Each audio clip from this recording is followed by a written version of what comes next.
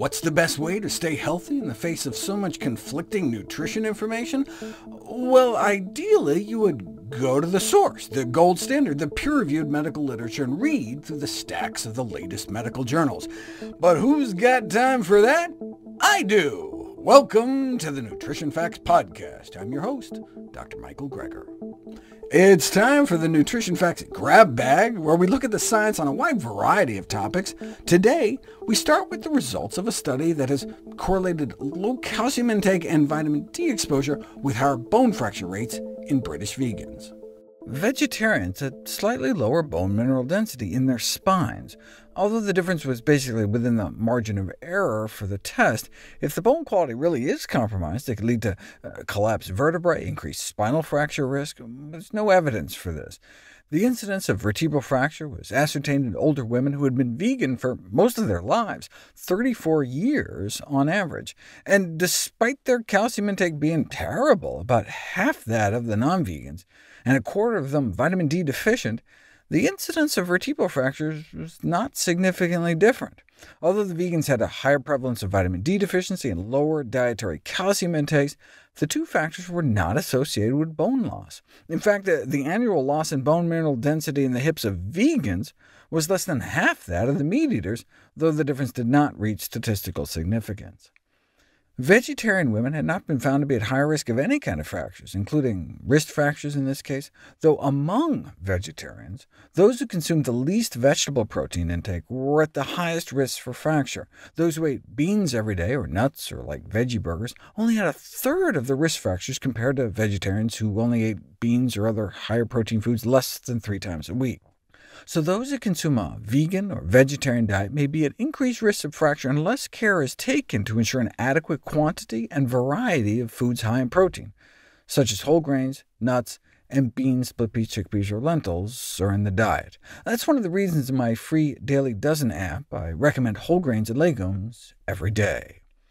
Hip fractures are even more serious. Those eating legumes, like beans every day, reduce their risk of hip fracture by more than 60%, compared to 40% lower risk from meat protein with plant-based meats, coming in in between with about 50% lower risk of hip fractures.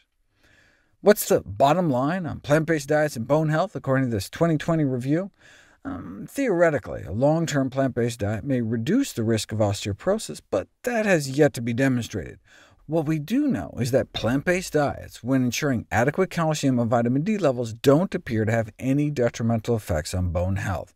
But this was published August 2020. In November 2020, the 12-year follow-up to the study I talked about in my last video on comparative fracture risk in vegetarians versus non-vegetarians was published, finding that non-meat eaters, especially vegans, had higher risk of total bone fractures, including at sites associated with osteoporosis, such as hip fractures. It comes out to be about 20 more cases in vegans for every 1,000 people over 10 years. So if indeed this is cause and effect, eating vegan, there would be a, an annual 1 in 500 chance of having a bone fracture that you otherwise might not have had. Was it because they weren't eating enough beans? Apparently not, since vegans getting more protein still apparently had higher risk. Maybe it was because they weren't getting enough calcium? Apparently not, since vegans getting more calcium still apparently had higher risk. What about bone and vitamin B12? If you remember EPIC Oxford, where the bone data comes from, is the same group of British vegans who had rampant B12 deficiency. More than half the vegans were B12 deficient because they weren't adequately supplementing with B12 or B12 fortified foods. This can lead to high homocysteine levels, which not only increase stroke risk, but may increase the activity of bone-eating cells. This was in a petri dish, but you do indeed see low bone mineral density in those born with a birth defect that leads to high homocysteine levels in the blood. Therefore, high serum homocysteine may be regarded as a factor that can reduce both bone mass and quality, but you don't know until you put it to the test, and homocysteine-lowering treatment failed to reduce the risk of bone fracture. So in the end, the effect of B12 deficiency in bone health remains to be established. OK, so how do we explain the higher fracture rates found among vegans?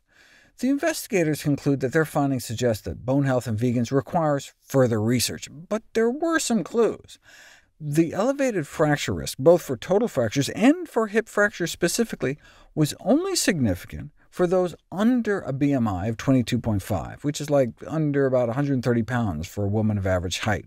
So part of the problem is that vegans tend to be so slender on average. Why are overweight and obese individuals protected from fractures? Well, think about it. They have cushioning during a fall. There's more of a cushion on your hips. Also, there's an enzyme in fatty tissue that churns out estrogen, which is why women increase their breast cancer risk a percentage point for every pound they gain in adulthood. But estrogen can also have a bone-preserving effect. Now, you can get the best of both worlds consuming soy foods, preventing bone loss while at the same time associated with lessening breast cancer risk for both estrogen receptor-positive tumors and estrogen receptor-negative tumors. Finally, overweight and obese individuals may also have stronger bones just from the increased weight-bearing. Carrying 100 extra pounds, you're doing major weight-bearing exercise just walking across the room. So the risk difference they saw between vegans and meat eaters were likely at least partially due to the difference in BMI. My money, however, is on vitamin D. Great Britain is at Canadian latitudes. The sun's rays are at such an angle during the winter months up there that the vitamin D levels among British vegans in the wintertime drops down to suboptimal levels. Ideally, we should be up around 75 nanomoles per liter, or 30 nanograms per milliliter, depending on what units you're using, which the vegans nail in the summer.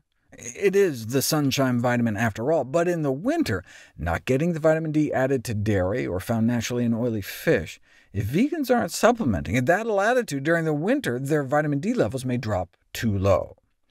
Now, randomized controlled trials show that vitamin D alone does not seem to reduce fracture rates, but boosting people's D and calcium at the same time does, so maybe it was a combination of the relatively low D and calcium intakes among the vegans that led to their higher fracture rates. We won't know for sure until it's actually put to the test, and when it is, you can be sure I'll do a video about it. Did you know that our body can make vitamin K2 from the K1 in green leafy vegetables? Here's the story. Vitamin K. Wait, I know about vitamins A, B, C, D, and E. What happened to vitamins F, G, H, I, and J? It's not alphabetical. Vitamin K stands for coagulation, or at least it does in German. That's the fundamental role vitamin K plays, helping the blood to clot. But over the last few decades, there's evidence that it has other roles in the health of our bones, heart, and brain. Kind of reminds me of vitamin D. I mean, we know vitamin D is important for bone health, but then there's been all sorts of other controversial functions ascribed to it, some of which have been proven and some disproven. What about vitamin K? For bone health, for example, is the link between vitamin K and osteoporosis myth or reality? It turns out the findings on vitamin K in bone are conflicting and unclear. It doesn't help that some of the major trials were found to be problematic, to say the least, as in likely fraudulent, containing impossible data, with investigators admitting to complete fabrication. And so if you do a systematic review eliminating any fraud, we find there's no evidence that vitamin K supplementation affects bone mineral density or vertebral fractures. What about the heart? Vitamin K supplementation for the prevention of cardiovascular disease. Uh, there's a vitamin K-activated protein in your blood that binds up excess calcium and helps prevent calcium from being deposited into the walls of your arteries and stiffening them. So if you give people extra vitamin K, will that protect people's arteries from calcification? I mean, it sounds good in theory, but no. Vitamin K does not appear to consistently prevent progression of calcification atherosclerosis, or arterial stiffness. For example, artery calcification is particularly common in patients with chronic kidney disease, which can lead to increased artery stiffness, which is an important risk factor for heart attacks and strokes. An earlier trial didn't find any benefit on coronary artery calcification between the vitamin K and placebo groups, but they were using kind of a small dose. So these trials use a whopping dose daily for a year, and nada. Vitamin K supplementation did not improve vascular stiffness or other measures of artery health, and in fact one study on the effect of vitamin K supplementation on artery calcification in patients with diabetes found that calcification tended to increase after supplementation with a type of vitamin K found in a slimy fermented soy food called natto. Now, those with higher levels of vitamin K circulating in their bloodstreams do tend to have lower levels of inflammation, but no wonder. Where is vitamin K found? The predominant dietary form of vitamin K in the human diet comes from dark green leafy vegetables and cruciferous vegetables. So how did people get high levels in their blood? Eating broccoli. Those with higher levels of vitamin K in their blood were eating more vegetables, less meat. No wonder they had lower levels of inflammation. The recommended adequate daily intake for vitamin K is set at 70 micrograms a day in Europe, and between 90 and 120 a day here in the United States. Just two leaves of kale has over 70, and a quarter cup of cooked kale will get anyone all the K they need for the day. Now, there is vitamin K found in meat, dairy, and eggs, averaging about 5 to 10 micrograms per serving. In other words, they are even beaten out by iceberg lettuce, which is mostly water, but still contains like 2 to 3 times more vitamin K. Ah, but that's vitamin K1. What's found in animal products is mostly vitamin K2. Do you need K2? Apparently not. Once you get enough plant-based K1, there's no established requirement for K2, because it hasn't been proven that K2 has effects that are different from K1. They both act the same way in the body, thus there's not even enough data to take K2 into account at all. So when the recommended adequate daily intakes are set, they're only talking about getting enough K1 from plants, mostly green vegetables. In fact, most of the bone trials that flopped used the K2 found in animal products, and most of the failed heart studies used K2 as well. OK, even though there's presently a lack of randomized trial evidence to support a beneficial role for vitamin K in preventing the worsening of cardiovascular disease or bone health, what if that were to change? What if all of a sudden K2 was shown to have unique benefits? Well, guess what? The bacteria in your gut make K2. That's why fermented foods have K2. Bacteria make it. And the bacteria in your gut not only make it, but it gets absorbed from your colon up into your system, contributing a significant amount of the human vitamin K requirement, just in case you miss a couple days of greens. Vitamin K1 is made by plants and is the primary dietary form. Then there are a dozen or so types of vitamin K2, which are synthesized by bacteria, including several types in the human gut.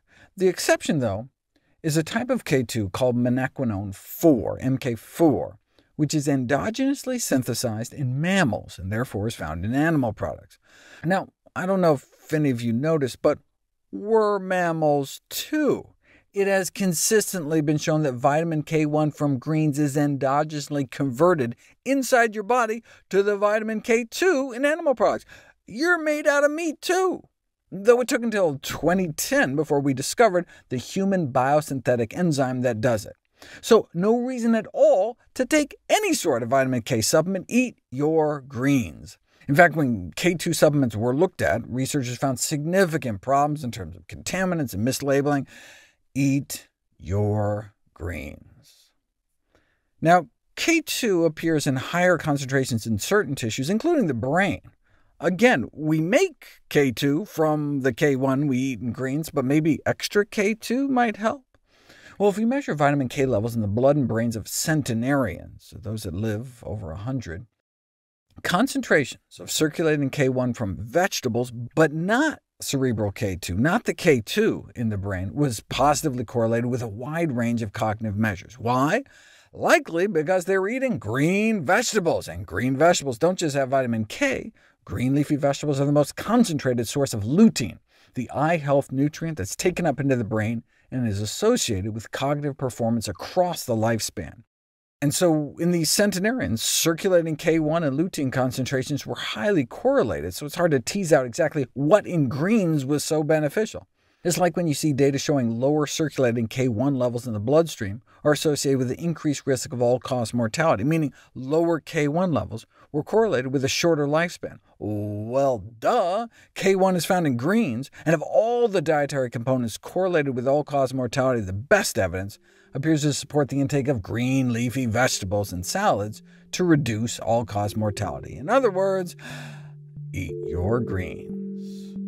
In our final story, we look at how we might replicate one of the greatest public health victories of all time, the reduction in smoking rates, but in the field of nutrition. What we learned from the tobacco experience, wrote two preeminent public health scholars, is how powerfully profits can motivate even at the cost of millions of lives and unspeakable suffering. Big tobacco played dirty and millions died. How similar is big food? I've talked about how big food has used the same tobacco industry playbook. What about using the anti-tobacco playbook to counter the obesity crisis? Tobacco is one of our great public health victories. The, the share of adults who smoke declined from 42% in 1965 down to just 15% by 2016. Uh, that's about 5 out of 12 down to less than 2 out of 12. Thanks to the decline, cigarettes now only kill about a half million Americans every year, whereas our diet now kills tens of thousands more. Currently, the leading cause of death in America is the American diet. Might we be able to use the same strategies that were so successful in the battle against big tobacco? Uh, it may be no coincidence that three of the most cost-effective policy interventions against obesity seem to be taken straight from the tobacco wars. First, taxes on unhealthy products, front-of-pack labeling, and a restriction on advertising to children. Excise taxes on cigarettes has been cited as the single most effective weapon in slashing smoking rates, a 25 cents per pack tax to help deal with some of the societal costs of smoking was associated with as much as a 9% decrease in smoking rates. The World Health Organization has estimated that a 70% global increase in the price could prevent up to a quarter of all tobacco-related deaths worldwide. Extending taxes on alcohol and tobacco to foodstuffs was proposed by none other than Adam Smith in his 1776 Wealth of Nations. Sugar, rum, and tobacco are commodities which are nowhere necessities of life, which have become objects of almost universal consumption, and which are, therefore, extremely proper subjects of taxation. People have the right to smoke and drink and eat fattening foods, the logic goes, but perhaps they should help defray some of the publicly funded medical costs that result. Well, if that's the case, why not tax obese people directly? Taxing people based on their weight was proposed at least as far back as 1904 in the British Medical Journal, a kind of pounds for pounds strategy, actually only up to 7 shillings and 6 pence per pound. This was not only to recompense public coffers, but nudge behavioral change. A tax on fat, read the proposal, would also have the excellent effect on the health of the nation by bringing about a reform of unwholesome habits of eating and drinking. Even a penny per ounce tax on sugar-sweetened beverages could bring in more than a billion dollars a year in states like Texas and California. A 10% tax on fattening foods on a national level could yield a half a trillion dollars over 10 years. Even if it was combined with a subsidy that lowered the cost of fruits and vegetables by 10%, it would be expected to net hundreds of billions of dollars. But would it actually change people's habits? Even a small price differential, about 10% between leaded and unleaded gas, was able to shift the entire auto industry away from lead. Could it also shift Americans to apples from apple pie? A systematic review of the available evidence suggests that dietary financial incentives and disincentives work. The cheaper you make fruits and vegetables, the more people say they'd buy, and the more you tax unhealthy foods, the lower consumption drops. Based on this kind of modeling, a tax on saturated fat, found mostly in fatty meat, dairy, and junk, could potentially save thousands of lives a year. But wouldn't such a tax disproportionately affect the poor?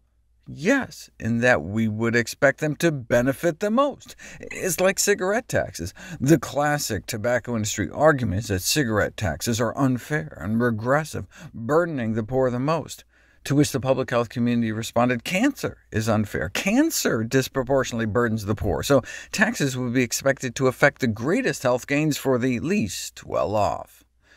The fact that the tobacco industry fought tooth and nail against cigarette taxes, everything from inventing front groups to overtly buying off politicians, suggests that taxes can indeed shift consumption patterns, but much of the evidence on changing food behaviors has not been based on real-life data. You can put people through fancy 3D supermarket simulators and discover that a 25% discount of fruits and veggies appears to boost produce purchasing by the same amount, up to about 2 pounds a week, but virtual vegetables don't actually do you any good. Does this work out in the real world? Apparently so. South Africa's largest private health insurer started offering up to 25% cash back on healthy food purchases to hundreds of thousands of households, up to the U.S. equivalent of uh, $799 per month. Why would they give money away? Because it apparently works, increasing consumption of fruits and vegetables and whole grains, while at the same time decreasing the consumption of foods high in added salt, sugar, and fat, including processed meats and fast food. Why not just pay people to lose weight directly? A systematic review found 11 out of 12 studies on financial incentives for weight loss described positive results. Uh, the one that failed to find a benefit of direct monetary inducements was only offering $2.80 a day. With kids, you can get away with just a nickel or a sticker to get them to choose dried fruit over a cookie as an after-school snack, though as soon as the enticements ended, so did the change in behavior. Even if the incentives have to be made permanent, uh, they might still pay for themselves. In the U.S., every dollar spent taxing processed foods or milk might net an estimated $2 in healthcare cost savings.